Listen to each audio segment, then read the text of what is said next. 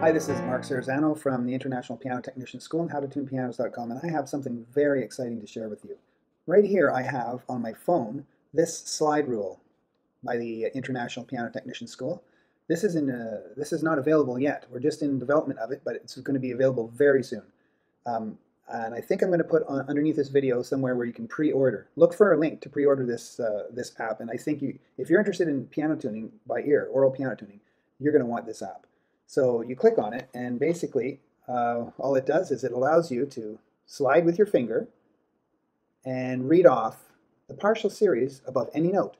So if we drop it on C3, you can see the first partial C3, C4, and then the fifth is in there, G5, and then you've got the dominant seventh chord, C, E, G, B flat, A sharp, and C. Now that would be cool just in and of itself, but this thing will also allow you to see the coincident partials of any interval. For example, you just, uh, I got to do it on the phone here. Here it is, here's the phone.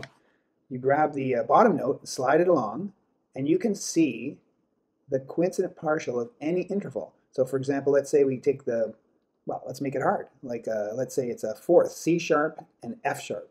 So on the bottom here, it tells you what the interval is. It tells you it's a perfect fourth.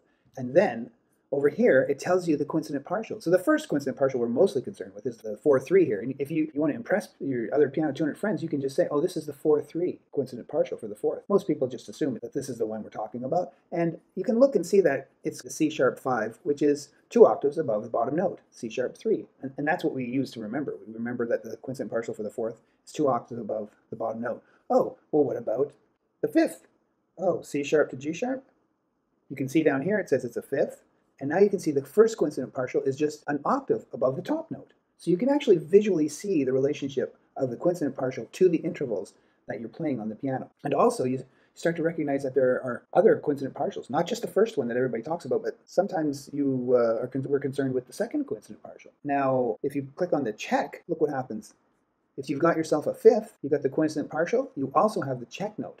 So now the check note you use to measure the size of the fifth. So you would play the E here with the C sharp, and then you would play the E with the G sharp. And those are your intervals that you would play to determine the size of the fifth. And there's a way of doing that by listening to the interval speeds. If they're the same speed, you've got a pure interval. And you can also slide that around if you wanted to look at, let's say, the second coincident partial. You grab, just grab the check note, and if you get even close to it and let go, it will slot into that second coincident partial. And that shows you what the coincident partial is there. Now, a common way we use coincident partials is for the octave. So if you throw in the octave there, now you can see all of the coincident partials that we talk about. The 2-1, that's the top note of the octave. The 4-2, that's an octave above the top note. The 6-3, which is an octave and a fifth above the top note. And the 8-4, which is two octaves above the top note. And now by sliding the check note along, we can determine the check intervals for any of these octaves. For example, if you wanted to test the 4-2, you would use the G sharp. That's the major third, major tenth test. If you wanted to test the 6-3, now you go up a minor third from C to D sharp or E flat. Play the C, E flat, E flat, C, compare the beat rates. If they're the same speed, it's a pure 6-3. If you wanted to know the 8-4, it's just a major third down the top note there, A flat to C. So you play C, A flat, listen to that speed. The beating is occurring at the coincident partial right here. That's where the beating occurs, at the coincident partial.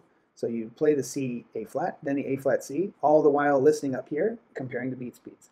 So this is how it works. The interval slide rule. Know any partial series at your fingertips, know any coincident partial at your fingertips, and know any check note for any interval at your fingertips. So look for a link below for this app. It's very, very useful for people who are having any trouble at all even for me, I'm very comfortable with intervals and check notes, but this thing was amazing because it showed me things I didn't even realize, like the minor third. Who would have thought that the minor third actually has two coincident partials right beside each other? I did not know that, but this helped me learn that. So this is a great tool for anybody, beginners or people who are teaching or even professionals who just want to play around with it and uh, see what it does. So look for the link and pre-order, and we'll get that out as soon as possible. Thanks for watching.